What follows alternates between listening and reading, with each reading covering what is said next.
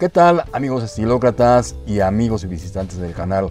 Yo soy Ricardo Domínguez y les doy la bienvenida a Estilocracia como siempre.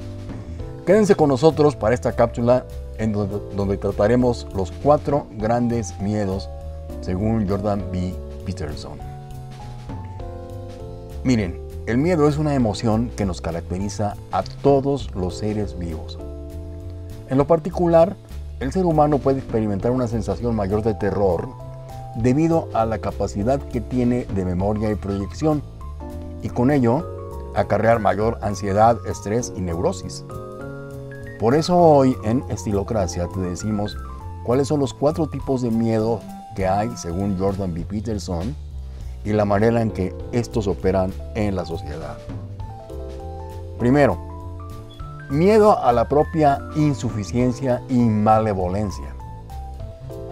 Peterson dice que el miedo a la insuficiencia y la malevolencia propias representan el primero de estos miedos, debido a que el hombre siente un gran temor cuando hay situaciones a las que no saben cómo reaccionar y reacciona de una manera totalmente contraria a lo que podría haber pensado. Un ejemplo es el de los soldados, cuando se encuentran en la batalla haciendo cosas que no creían que serían capaces de hacer. El segundo miedo es el miedo a la sociedad. Este miedo es derivado del primero debido a la capacidad de juzgar.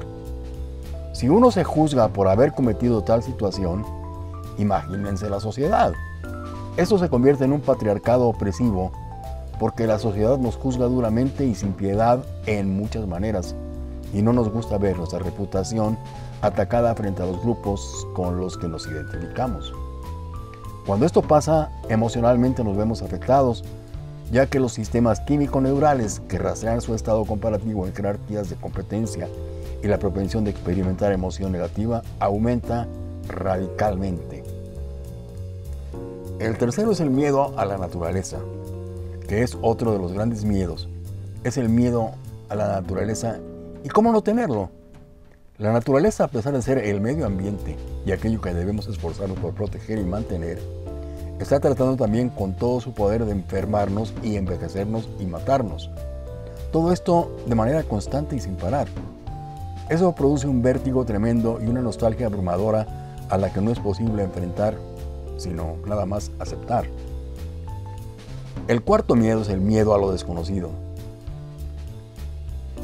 Este miedo a lo desconocido y a, a el no saber qué pasa el no tener control de una situación, el no saber cómo enfrentarse, arroja al individuo a estar desnudo en un escenario cualquiera que le produce miedo y ansiedad. Curiosamente, este último miedo alberga los otros tres de manera simultánea.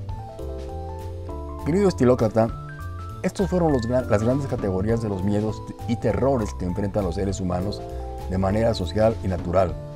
Esperamos que te hagan reflexionar y te incentiven para armarte de valor ante la vida. Si te gustó este video, dale like y compártelo. No olvides suscribirte y hasta la próxima, estilócratas.